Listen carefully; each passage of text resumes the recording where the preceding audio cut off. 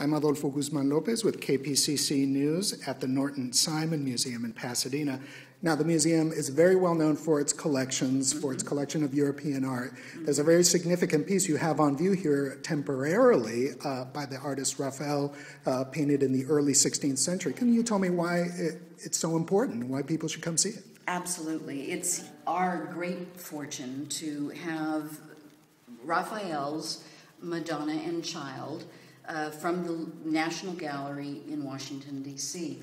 This picture was an easy choice for us. Um, it may not have been easy for the National Gallery to give up for three months, but for us, it provided us with a beautiful uh, teaching tool so as to juxtapose it with our own Raphael, the only Raphael on the West Coast, um, and compare the very subtle change stylistically uh, that Raphael was experiencing when he left his hometown and goes to the big city of Florence for the first time in his life at 20 and sees Leonardo da Vinci and Michelangelo.